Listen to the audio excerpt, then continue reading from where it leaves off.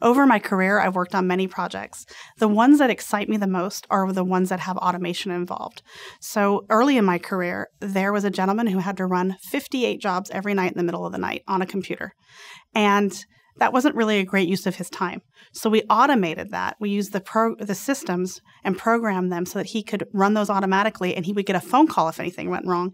And then he was able actually to change the day shift and do other work. So when you can see automation make a difference like that, that really excites me. A more recent one is when we onboard employees to our company, it was a lot of manual steps to set them up to be paid, to set them up so that they could order lunch, to set their email up, all those different things that happen when somebody joins a company.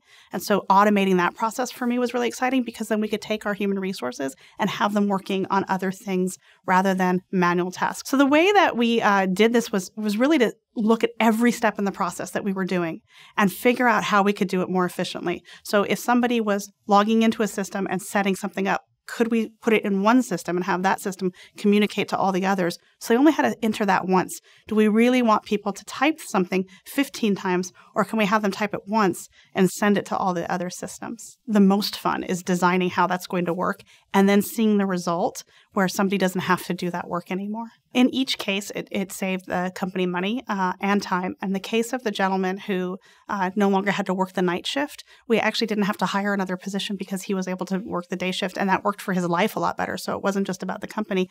Uh, having to be up all in the middle of the night wasn't great. Uh, for him. So this was a big win for us.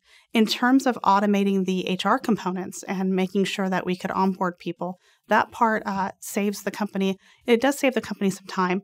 Uh, it saves the company labor. Uh, it doesn't save uh, money uh, directly. It saves the labor. Uh, but it also uh, means that we have less of a chance of making a mistake because when you enter something 15 times into different systems, you have an, a high chance of making a typo. But when it's entered in one place, you have a much greater chance of accuracy. So it saved us that kind of time and money.